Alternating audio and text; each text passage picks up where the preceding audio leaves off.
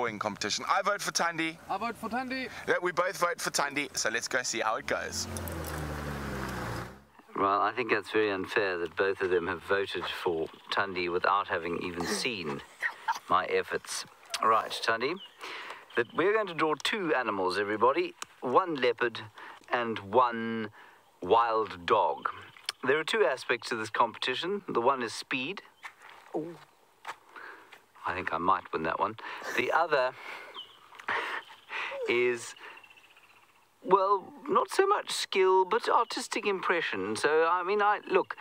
My mother always used to say to me, James, don't ever hang anything on your wall that looks like a photograph. You know, a drawing shouldn't look like a photograph, it should have some kind of artistic interpretation. So, you know, bear that in mind when you judge as to who the best is. Um, Thandi, you may choose three if you like. Blue and black. Blue and Right, there you go. Let me just label these quickly. There we go. Thandi and Picasso. All right, here we go, everybody. On your marks.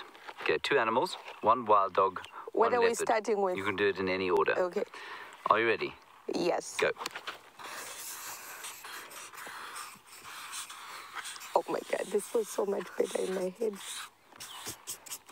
Grass, grass, grass, grass, grass, grass.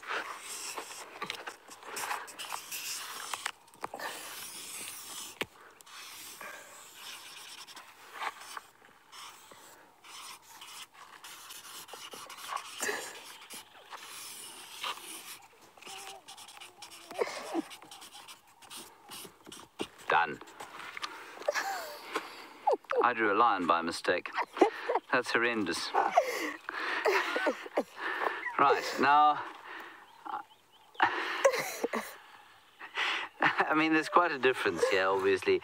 Here, we don't really have an accurate representation of a wild dog but it is an artistic one. I think you'll agree.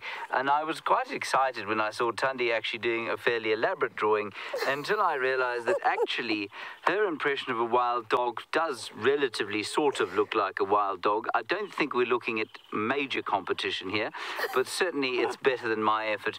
And I like the. Uh,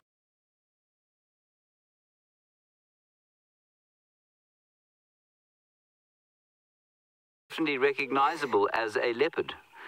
I'm not sure anyone would recognize that as a lion, especially as it was supposed to, of course, be a leopard. I do apologize for that. Right, that's hmm. beautiful. Okay, we have a couple of really nice questions in the tent.